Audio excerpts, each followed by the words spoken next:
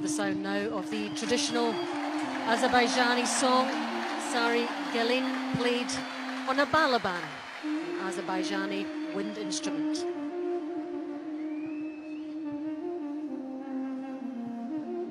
We're reminded of Leyli and Majnun, the unrequited couple we met earlier in the poetry of Nizami.